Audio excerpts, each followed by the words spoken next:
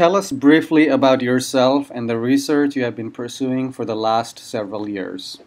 Well, my group works in embedded computing, and the past couple years we've been trying to figure out how to use embedded computers to build in intelligent buildings, and in particular to make those buildings aware of the occupants, what the occupants are doing, where they are, and and then to respond to them either you might say verbally with some sort of feedback about how much energy they're wasting or how they could improve their lifestyle, or also in terms of automation, so controlling the lights or the heating and cooling um, to make the building more energy efficient. Uh, today, I wanted to discuss about failures and successes in computer science research. Reading papers or attending conferences, we get the impression that every single project is successful, every project results in something getting faster, smaller, or bigger, more insightful, and an outstanding publication. Is that so in your experience starting from when you were working on your own PhD? Certainly, most of the papers we try to publish um, do make things better, sort of on and off in, in daily life. I don't think uh, certainly everything is not successful. Um, I can give you a, a, number of examples in my graduate career when um, when things failed. You might say, when I first first got to Berkeley, I was working on sensor node localization. This was kind of a hot topic at the time. There were a bunch of embedded processors, wireless, um, that people envisioned to be scattered around um, environments, maybe in fields or in buildings.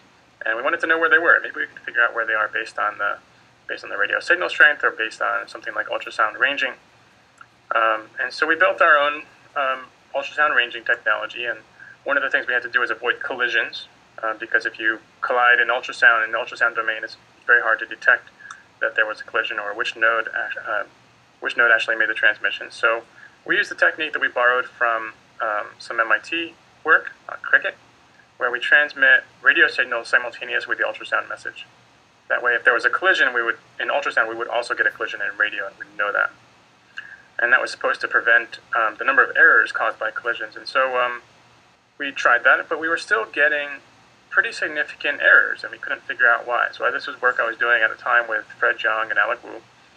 And so we decided, well, let's run a controlled study. Let's create some collisions um, intentionally, just to make sure that this technique works.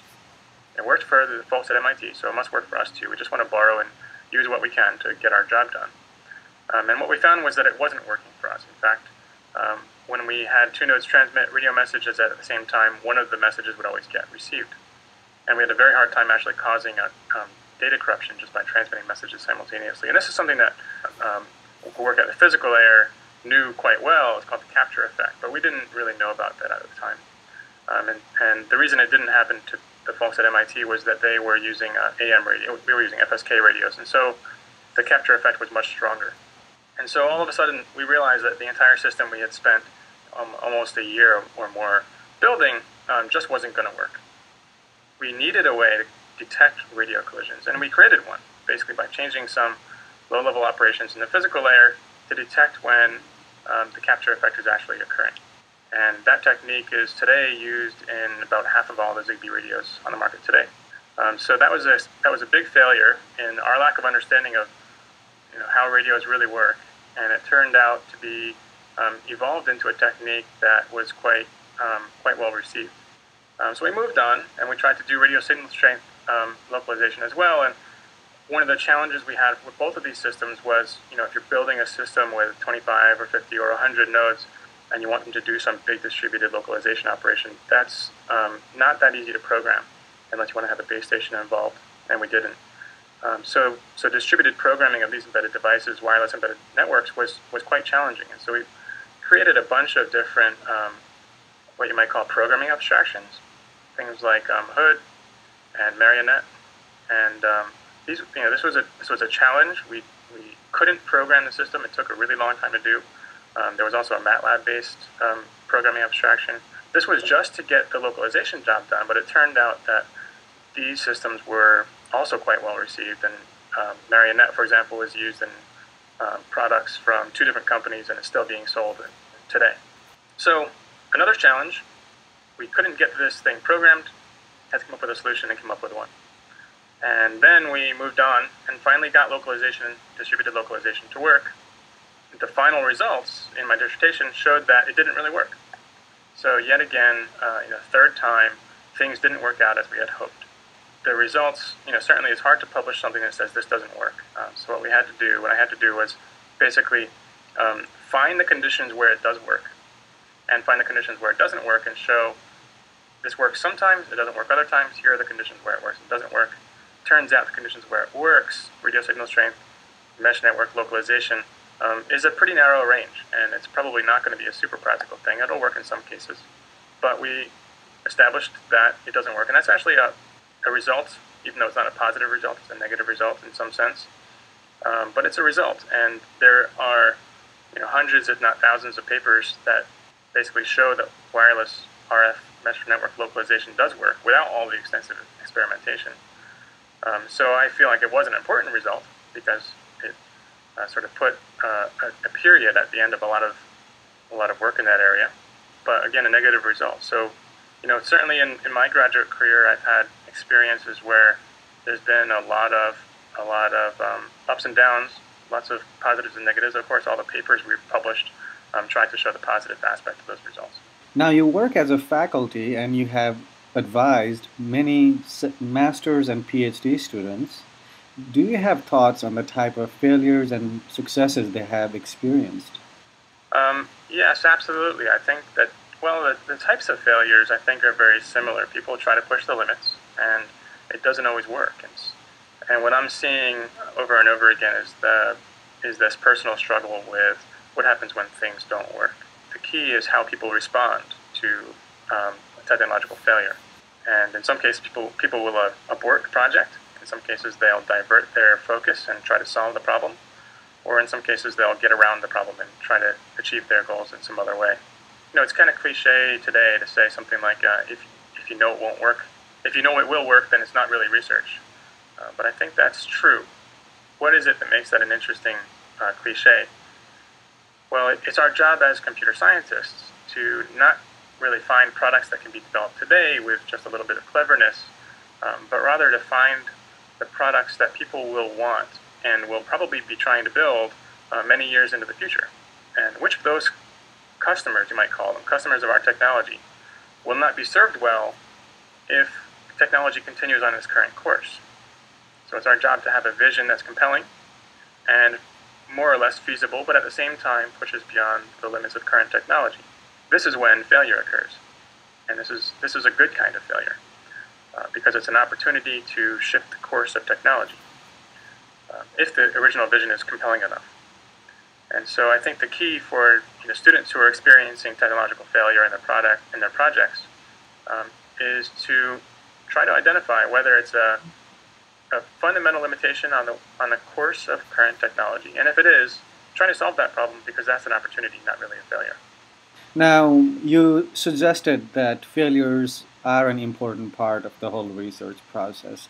Do you have any insights on a good way to balance the possibility of failure and risk taking in computer science research? Um, balancing failure and risk taking, that's an important question. Um, to answer that, I'd like to distinguish between two different kinds of failure. There, there are probably several different kinds of failure in research, but at least two of them are very common. One is experimental failure, and one is technological failure. So the first kind, te- experimental failure, um, doesn't need to be balanced with risk taking. That just needs to be, to be managed.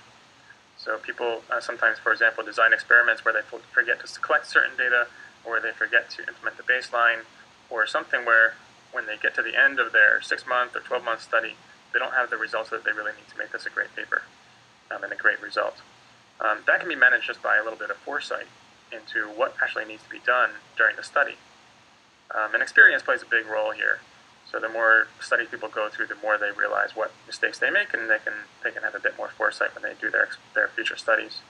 The second kind, which is the technological failure, that's the kind that I think is interesting when you're pushing beyond you put you know push, pushing technology beyond um, its current limits and, and trying to change the course of technology development.